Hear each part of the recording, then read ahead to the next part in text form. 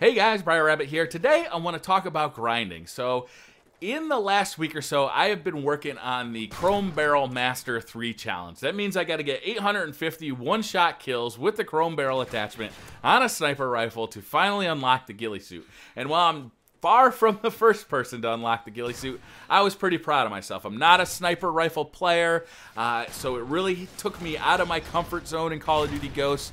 Uh, forced me to use the sniper rifles, and it's something that I wanted. I wanted that ghillie suit. I kind of think it's a pretty cool thing, uh, and I really like how Call of Duty does these challenges. So it takes a long time to unlock some of these things like the ghillie suit, and we got a lot of them this year with the gold gun challenges, the character camo challenges, all sorts of stuff to unlock this year, and I think that's great.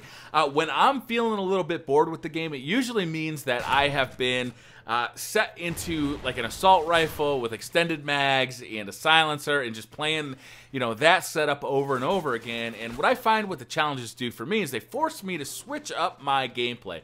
Maybe it's with using new perks to unlock a certain, you know, hat or mask or something for my character. Or maybe I want to, you know, get some gold guns so I start unlocking different guns or start using different guns and completing the challenges for them.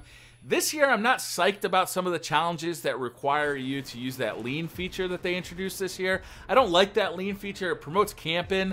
Uh, I actually, I'm not so sure if I've got any kills using it. I, I don't use it. It's just not the style of play that I have. And uh, it's just unnatural to me. And I don't want to just be kind of like leaning behind boxes waiting for people to come by so that I can unlock that camo, uh, which you need to do to get the gold camo in Call of Duty or in Ghost. So, I like the challenges overall, though. I like how it promotes different styles of play, and I like the freshness that it brings to every Call of Duty game. I, and I'm wondering what you guys think about these things. Are they worth doing? Do you like them? Uh, do you wish that they would totally change them up in some way that I haven't or they haven't thought of yet? I'm really interested to hear what you guys think. As you can see, I'm just now realizing that I finally unlocked the Chrome Master 3 achievement and got my ghillie suit. I was pretty psyched about it. I did not see it come up like a pop-up in on the screen when I unlocked it, so I just went back into the operations after the game game and found it. So I was pretty excited about that.